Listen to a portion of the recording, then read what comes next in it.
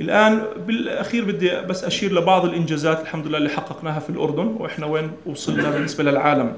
الآن أغلب عمليات جراحة الركبة هي تجرى بجراحة المنظار أو التداخل بنسميه البسيط. آه الآن استخدمنا جراحة المنظار في علاج حالات معقدة في الركبة مثل تصلب المفصل اللي بنسميه arthrofibrosis من خلال جرحين صغار. كل جرح يعني أقل من سنتي حررنا المفصل وبجوز المعالجين بيعرفوا شو يعني تيبس المفصل. بكون مرض عامل 20 و30 جلسه ومش متحسن. في 40 دقيقة في العملية كنا قادرين أنه نثني المفصل بشكل كامل ونحافظ عليه بالتأهيل ما بعد العملية.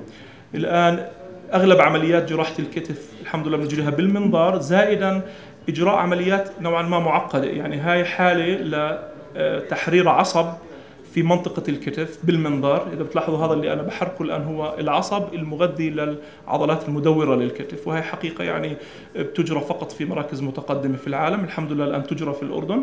هذا المريض بعد أسبوعين فقط من العملية. طبعا هو كان شكوى سنتين لم يشخص. بس إذا بتلاحظوا هون هاي عملية يعني تتطلب إمكانيات. يعني في جرح قريب جدا على الأعصاب هون جرح هون جرح هون جرح هون فهاي يعني حالات خاصة. الآن عمليات تقويم العظم طورنا على التقنيات الحمد لله الآن نجريها بالتداخل البسيط بجرح 4 سم وأغلب المرضى بيكونوا قادرين انه يتركوا العكازه خلال ست أسابيع وبيقدروا يثنوا المفصل بشكل كامل خلال أسبوعين. هذا المريض بعد شهر فقط من عملية تقويم العظم.